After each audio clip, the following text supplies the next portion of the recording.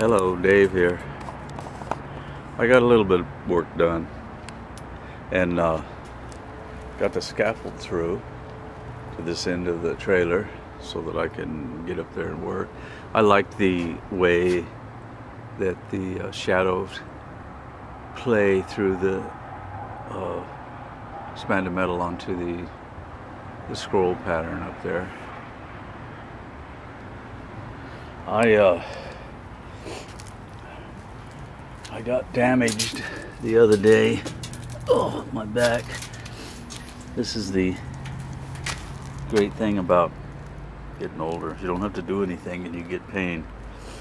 I found out if I do these scrolls and then paint them before I weld everything up, I get way less uh, spatter. I'm using uh, uh, 6011 arc rod.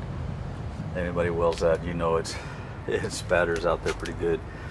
Makes a lot of cleaning. So working my way through because I got uh, that was the first one and then that one and of course that one over there. Now I'm working on these two for for this section here which which then will make the deck up there uh, it's only be 12 feet huh? They're four they're essentially four four feet wide and eight feet long so I'll have three of them up there. It's only 12 feet. I got another one ready to weld up another uh, rosette ready to weld up here. Got it kind of laid out a little bit. And it was when I was cleaning these. You believe that? Sitting there on my bucket stool, got everything set up so I'm not stretched out. I'm, you know, fairly comfortable.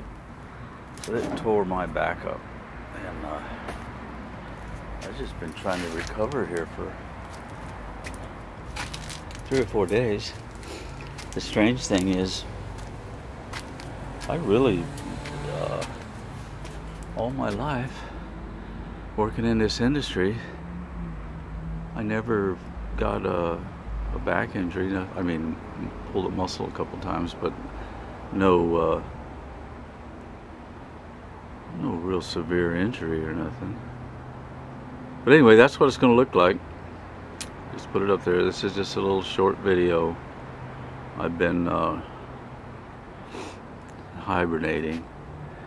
It's uh, can't hardly bend over. I'm beginning to get better now.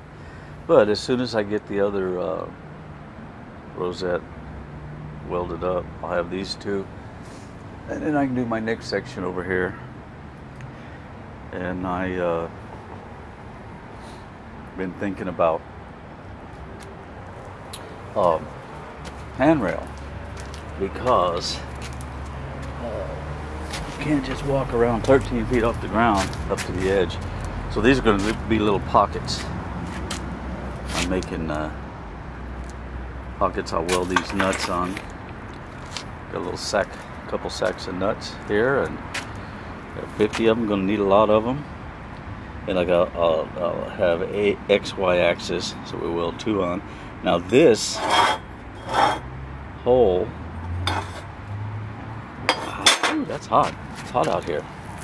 Goes all the way through and that's going to be the bottom. Now the reason for that hole is for a clean out because these will be welded up there permanently.